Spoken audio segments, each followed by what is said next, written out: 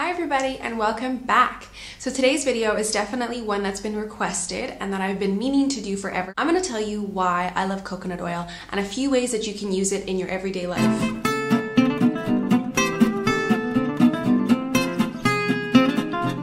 First of all, coconut oil, obviously self-explanatory, comes from a coconut. Here in Malaysia, this is the bottle that it looks like, virgin coconut oil. And so this is big old bottle of coconut oil. It's cold pressed and unrefined. It's cholesterol free.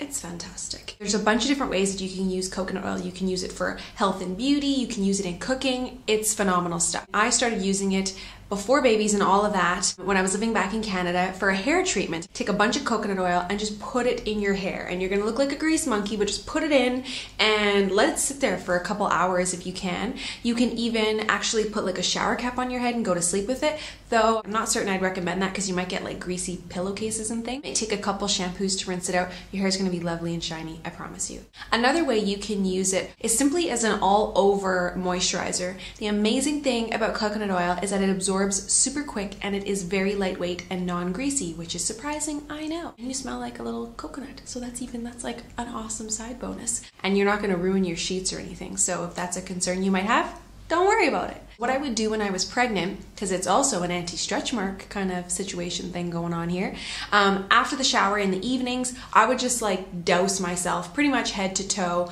all the areas, um, in hopes that I would prevent as many stretch marks as possible. I actually didn't get any stretch marks on my belly. I got a few stretch marks in other places, which is weird, places that I didn't actually put oil as often as I should have. If you feel like your face needs like a really big dose of moisture, why not give it a try? I tend to get a lot of pedicures and manicures. If you happen to be getting these frequently, you might notice that it dries out your nails. You can get little white patches on your nails. When I am giving my nails an opportunity to breathe in between manicures, I actually take a little bit of coconut oil and I just rub it on my nails until it's absorbed.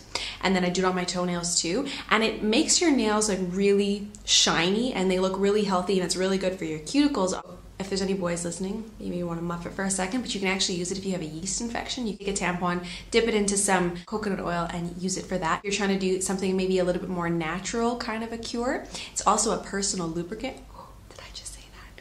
But be careful. Don't use it with latex because oil and latex, I'm not sure that those two things go together. We use cloth diapers with Esme and she's 11 months old as you might know.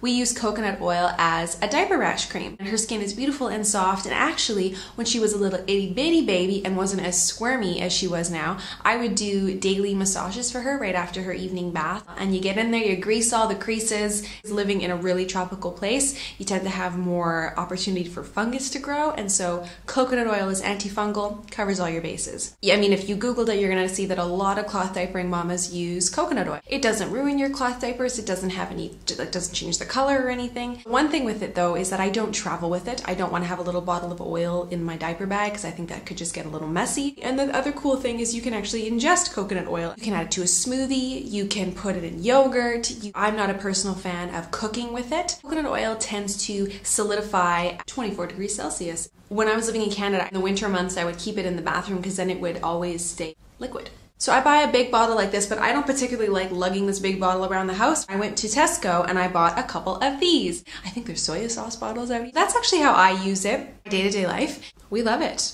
If you have any nut allergies in your family history, you're gonna wanna just be wary, check with your doctor. If you use coconut oil and you have different ways that you use it in your daily life, I would love to hear about it. Leave some comments below. I hope it gives you a little bit more insight as to how you can use coconut oil in your everyday life. Please subscribe if you haven't already. Click above. Go to our Facebook page and like there. Add us on Instagram and give our blog some love. I'll leave the links below. Thanks for watching, everyone. Talk to you soon. Bye.